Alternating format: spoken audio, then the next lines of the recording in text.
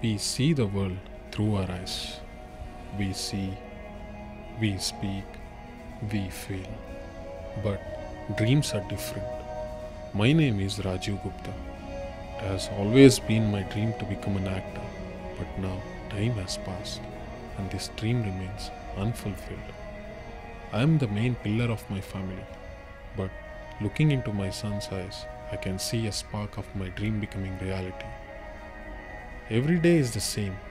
I wake up, drink my coffee, read my newspaper, and I go to work. But my mind is occupied every day, every minute, staring at film banners.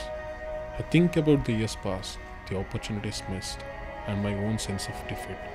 But looking deep into son's eye, I see courage, curiosity, determination, fascination, and intelligence. I can see success. I can see it. I can feel it time.